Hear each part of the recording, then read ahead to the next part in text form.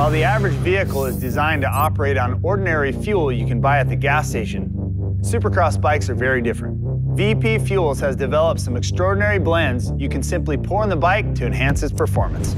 All the money that the race team spends designing and work that we do to improve our bikes, you know, you don't want to take a chance on pump gas. VP Race Fuel is that horse and a half better than 91 octane. It's something that you can put in and it makes power instantly. 80% of the Supercross riders are using VP fuels.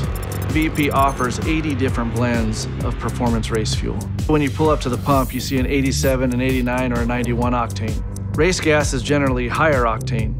Most people think higher octane makes more power and is better, but that's not the case. Each application is different and requires a different octane. If you think about standard pump gas, you know, there's a winter blend, there's a summer blend. Those are things they do for cars, but they're not really good for racing situations. For the stability of the fuel, whenever you get a VP drum of fuel and you open it up, it's the same as it was from the winter to the summer. So really the power gain is obviously a special blend. It's a very light fuel, it burns quickly. That's part of why you get such a performance gain out of it. You can't have it too light because whenever it's too light during the hot summer months, that fuel could start boiling. Supercross checks the fuel at every round to make sure it is legal. It's normally done post-race. We have our own lab to conduct our own testing to make sure our, all of our fuels meet the specifications they're supposed to. If there's any doubt, we do send it to a third-party lab. And over the years, they've changed oxygen rules, they've changed a lead rule, they've changed different things and we've built fuels around those.